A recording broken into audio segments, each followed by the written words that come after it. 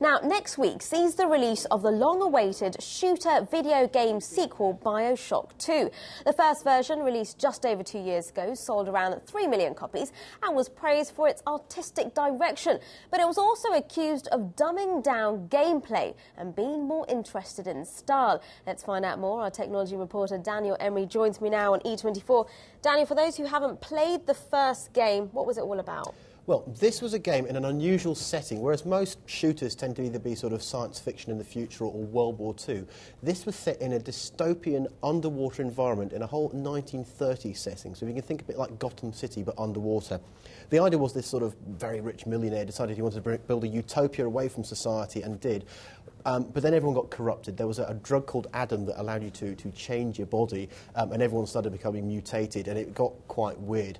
The game itself, you know, as, as we said in the introduction there, was artistically very, very brilliant.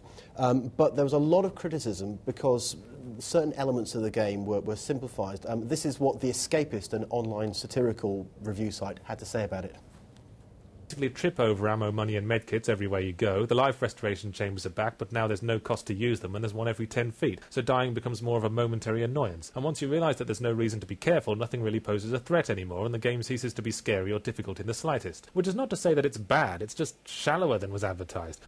Okay, so tell me about this new game, Bioshock 2, the sequel, and is it going to address those concerns? Well, the game itself is a follow on, and, and the difficulty with all follow ons is if you make it too different, you'll alienate your core users. If you make it too similar, then everyone just accuses you of reinventing the wheel.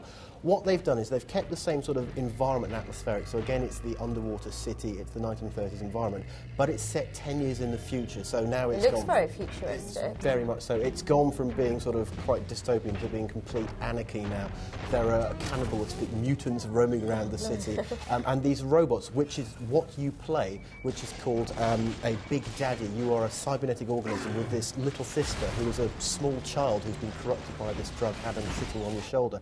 Now, as you heard, they said that the whole problem with the previous game was you could just attack someone, die, respawn, do it over and over again, and wear it down. We spoke to the creative director, Jordan Thomas, and he said, actually, you know what, in this version, it's going to be different.